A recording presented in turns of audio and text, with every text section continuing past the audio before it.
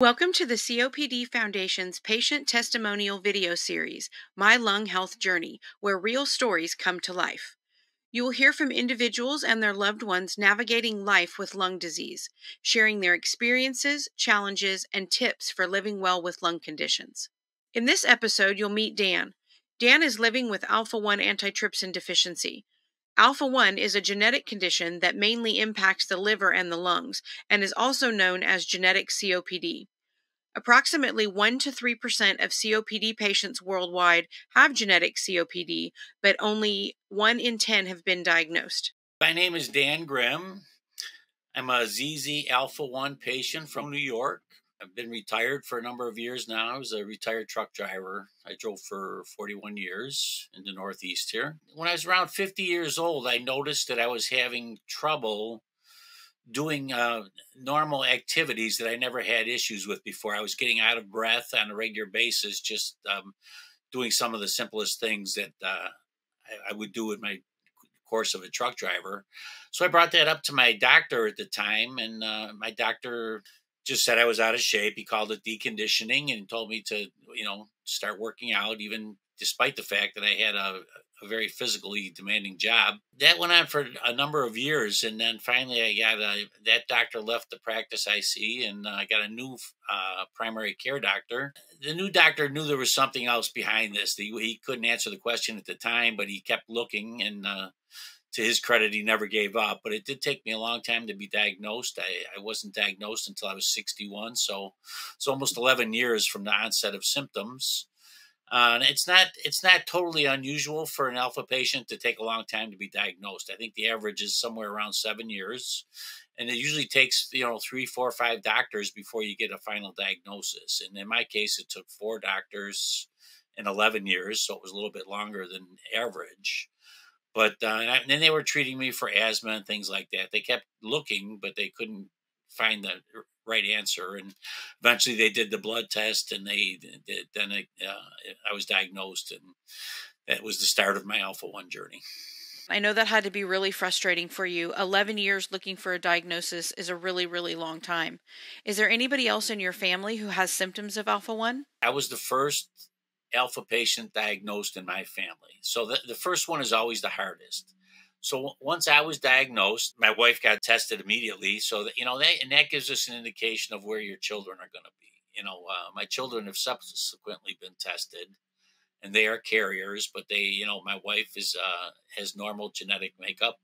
So she's not affected. They see a pulmonologist on a semi-regular basis. And, uh, and then as far as my extended family goes, uh, my mother my mother's still with us. She's 93 and she's very active. And she feels horrible that I got part of this from her, but uh, I told her there's nothing she could do about it. But she was tested. She's an MZ, and uh, I have a sister that was tested as an MZ. I have bro- another brother and sister that haven't been tested yet. I uh, I can't I can't make them get tested, and uh, but I give them the information. I do have one cousin that was tested, and she is a ZZ, you know, and that because her father, nobody knew it, but her father must have been at least a carrier, and uh, he, her mother and father have passed away. But her mother passed away at a very early age from uh, cirrhosis of the liver, and her father passed away from emphysema. So after you're diagnosed, it kind of answers questions like this from uh, family history that you know unexplained uh, early death from serious illness like that is uh, it makes a lot of sense after you're diagnosed. Speaking of testing, can you talk to us a little bit about what somebody might expect through the testing process? In family testing um, for other alphas, it's gotten easier. But in the last couple of years, there's been some breakthroughs on on home testing and. Uh, there's new methods of, of testing with a swab. This has become a, a very important part of family testing because people can send away for these home tests and they can do them eh, doing something they're used to doing was just swabbing and for whatever reason people didn't like doing the finger stick or don't like doing it and uh, you know so if you do a swab test you send it in you get that information confidentially to your email and then if you if you are tested to be positive for alpha 1 you can then make appointments with appropriate doctors and uh, get further testing, and they'll do your phenotype testing and things like that. But they, uh, it's become much easier to test at home, and it's really been a game changer for family testing. You order the test online, and then they de-identify you. They give you a number, so you're not using your name. Uh, they mail the test to your house. You get a swab. You swab. You put it in a container, and you mail it back to them. It's easier than ever to get tested. We really hope that more people will get the testing done. So, once you got your test results back, how did that affect your life? Well, I was diagnosed approximately, you know, five years before I had planned on retiring. And uh, as a truck driver, the environment I was working in was not a, a good environment for my lungs. Uh, my doctor told me almost immediately he felt I should retire and, and get out of the truck. Uh, you get away from diesel fumes and the particulate in the air of the loading docks I went to. But it just wasn't realistic for me at the time because, you know, again, I was just a few years away from my retirement and uh, I wasn't prepared at that time to financially retire. So uh, the compromise we came to is I started wearing a mask way before COVID, years and years before COVID. I started wearing a mask at work.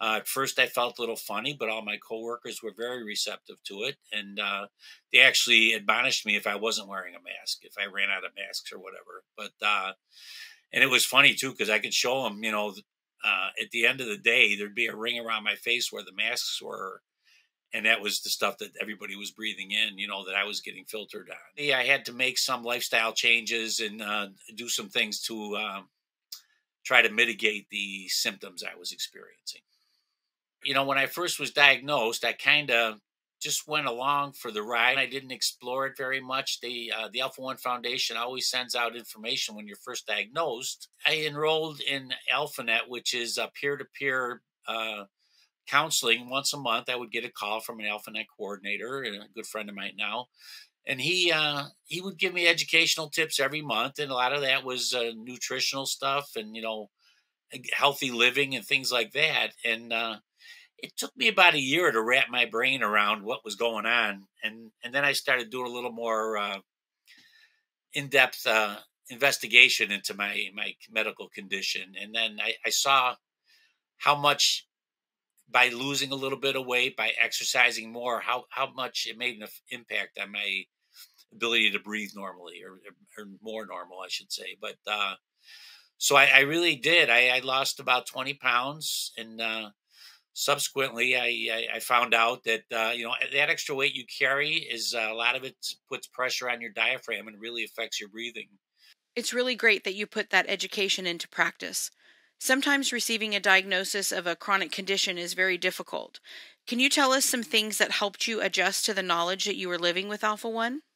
Well, when I was first diagnosed, I got a call from uh, my first coordinator, and when I was first diagnosed, again, I was I was upset. I was actually mad. I was I was you know I'm five years away from retirement. I get this news that I have a an incurable medical condition that's going to require a weekly infusion. I didn't know how it was going to affect my work situation. So I was actually angry. And he he was like the perfect person for me. He called me up. He said, "Look, I understand. Some people get these feelings. You know, I I I, I was kind of rude to him and uh, he really, really helped me wrap my head around it through education, just by listening to me and letting me vent. And uh, you know, he's he's a dear friend of mine now, but the uh, at the time he was the perfect person to talk to me because besides besides giving me the moral support I needed, he was able to give me educational support and disease management. And Say, look, this becomes becomes a routine. I had to get weekly infusions, which I started immediately. And uh, I really didn't know much about Alpha One. It's a part of your life. I have a, a, nurse that comes to my house, and I she's one of my best friends.